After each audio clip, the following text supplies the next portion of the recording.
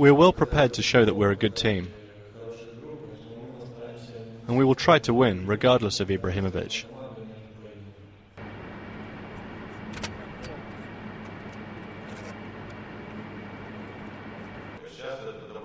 Sweden are a very good team, and because of that, I'm not expecting an easy game. And we will see if it is going to be a closed or open game.